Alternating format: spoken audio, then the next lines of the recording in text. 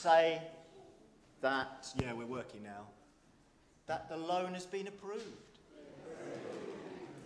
So, and I think that's pretty well one of the final little bits in the jigsaw that comes together. So we are planning that we are out of this building and the work starts in January next year. 2012, not 2013, 2012. It's really coming together, folks. On the evening of the first day of the week, when the disciples were together, the doors were locked, Jesus came and stood among them. This Jesus is among us now. We can recognize that now, or we can try and summon up some kind of sense, but he's here now. He says, Peace be with you. He said to them, Look at my hands and my side. The disciples were overjoyed when they saw the Lord. Again, Jesus said, Peace be with you. As the Father sent me, I am sending you. And with that, he breathed on them and said, Receive the Holy Spirit. This Jesus is amongst us. Let's recognize that. Let's revel in his presence uh, as we sing uh, some uh, songs together that take up this theme. If during this first part um, you sense that God is uh, wanting you to pray out a prayer of praise, there'll be little gaps, just shout it out good and loud. If you sense God is bringing a word of encouragement, come forward, just share it with me, and we'll, if it's appropriate, we'll weave that in at the right time. Boys and girls, there are things that we're going to be doing together a bit later, okay? If in the meantime you want to start colouring, you can. If you want to save that, then uh, you might want to save it, okay? But uh, we're here together as family to enjoy the presence of Jesus. Let's stand together. Everyone needs compassion.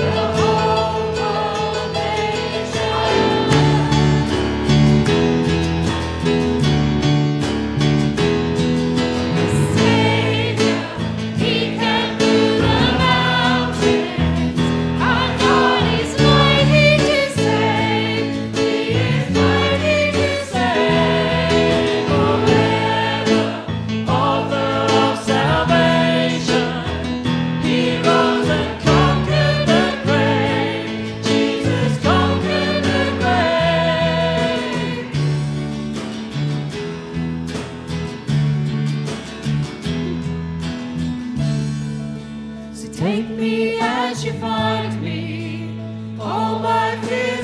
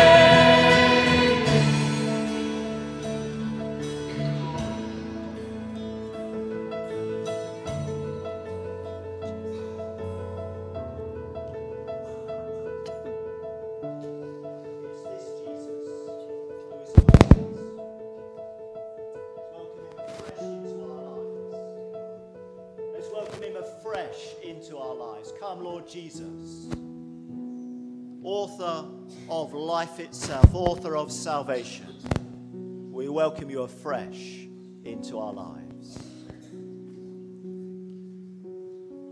We honor you, we worship you. You are our King, you are our Lord. You know, our hearts are surrendering afresh to you. We bless you. Amen.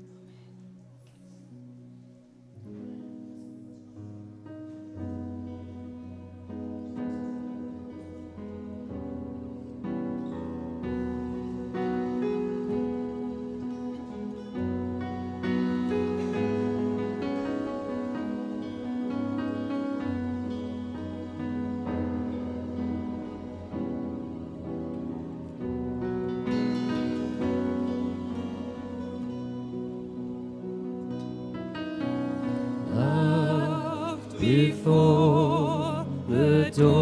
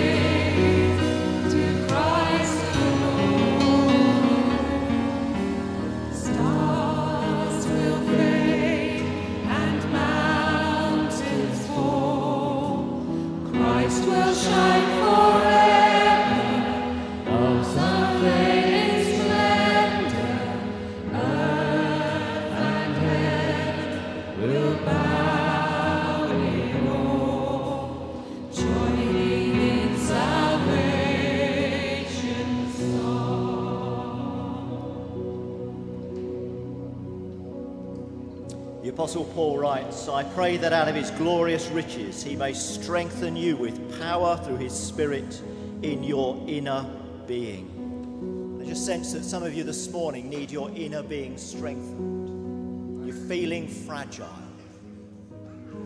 And the promise is that God will strengthen us in our innermost being by his Spirit through his power, so that Christ may dwell in your hearts through faith. So if that's you this morning, I just invite you to hold your hands out. There's nothing controlled here. We're simply asking that the Holy Spirit would come and strengthen us, that God would fulfill his promise. And so as we hold our hands out before you now, we pray that out of your glorious riches you may strengthen us with power through your Spirit in our inner being. May Christ dwell in our hearts through faith. So, Lord, we receive your strength. As we stand in your presence, we receive your strength. Come, Holy Spirit, and strengthen us in our innermost being.